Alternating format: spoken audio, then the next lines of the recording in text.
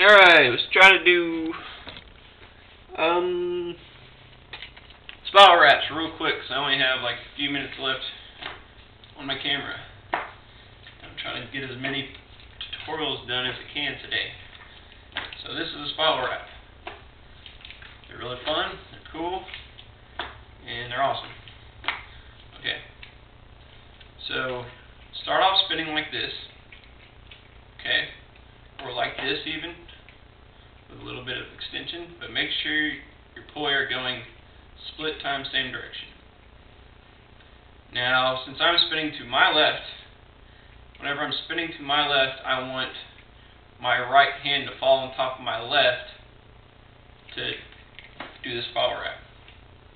So I'm spinning to my left, okay, then you're going to notice my left poi kind of comes up, my, I mean my right poi is coming up, my left foot is coming down, and then that's kind of the moment you want to get into it. So you'll notice right foot up, put your hands together, they spiral. Okay. And that's pretty much it. Now some tips. Tips. Um, I like to hold my hands together like this. I keep my fingers spread, and I put a little bit of tension like this so say my hands are kind of like a hinge. So put a little bit of tension in them. So keep them like that. And when the poi come around, you're going to turn them a 45 degree angle, then spin them that way and kind of whack them back as they wind up. So I'll try to show you that a few times.